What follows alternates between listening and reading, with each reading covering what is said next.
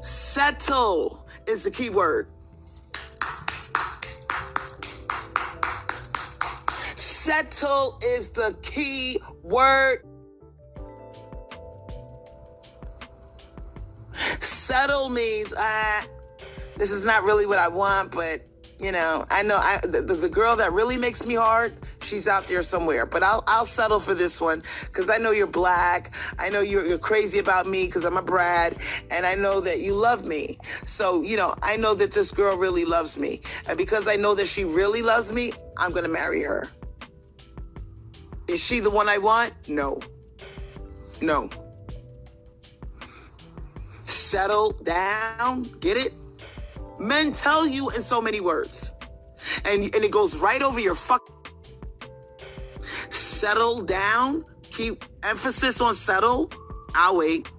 YOLO T says, if all of his exes are white, then leave that white man alone. Yep. Yep. Because he could be settling with you. He could be settling for you because Becky ain't checking for him no more. Becky is not checking for him. Hey, my black pill brothers. this was sent to me by my field marshal, a tornado. Oh boy. This is our famous divester and swirler, Crystal Swirls, that talks a lot of smack about black men, okay?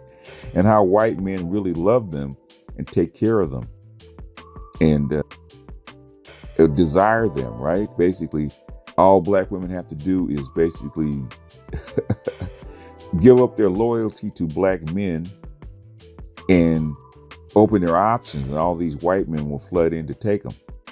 And after 15 years, Crystal Swirls is telling the truth. Know, you can hear it in this video. She's trying to shame white men into wanting black women.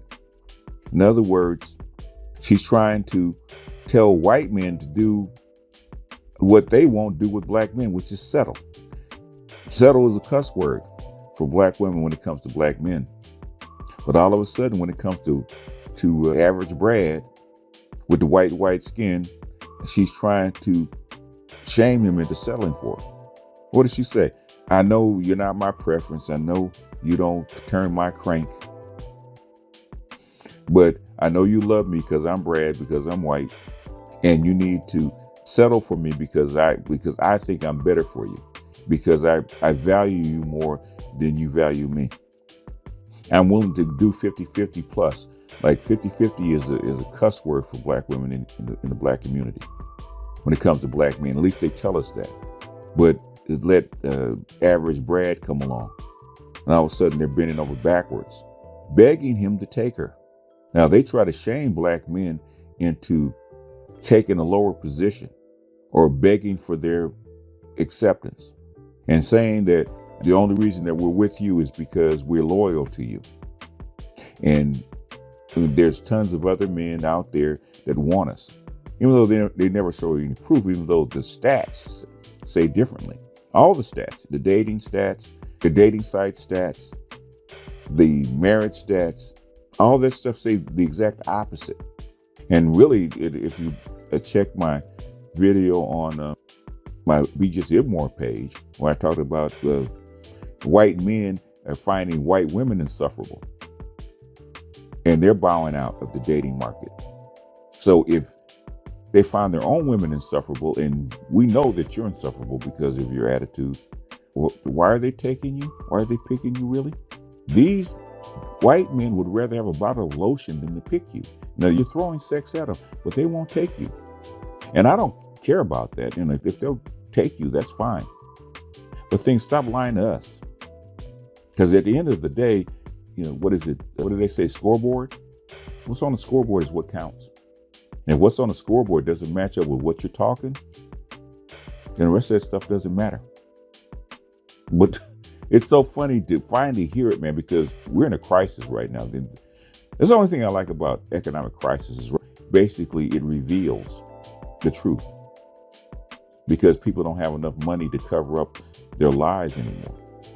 This is actually revealing the truth about black women.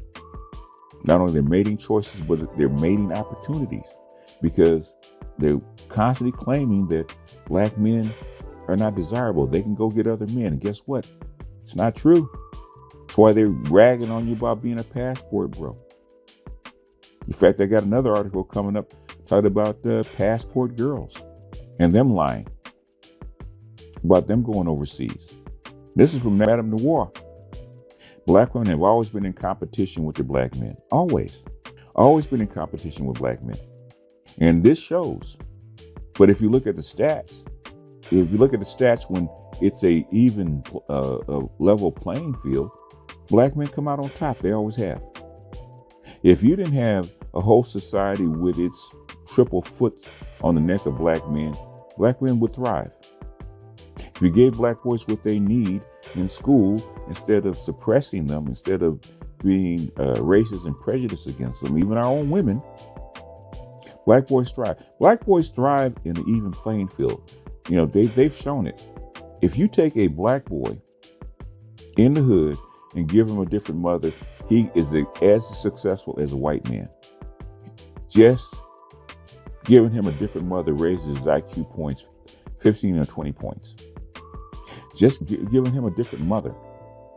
That means that your mother, your black mother, is suppressing you inside this family. And I've seen it. This is a matriarchy. And the matriarchy produces subjected males. It does. It produces compromised males. That's what it's designed to do. I'm going to talk about that when I talk about the picture with uh, Rihanna ASAP Rocky. That's telling. I know Dr. J is supposed to do it. I've been waiting on him, but if he's not going to get to it, I might as well go ahead and speak on it. A lot of stuff that COVID has sped up and revealed because now with COVID and social media spreading like this, man, you can't hide this stuff no more. The truth is going to come out.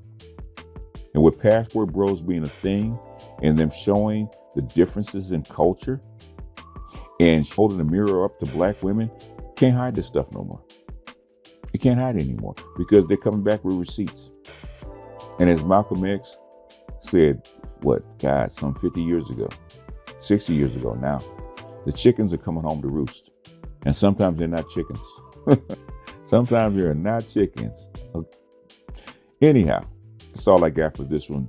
This is Be Just South. Now, see you guys on the next one. Peace.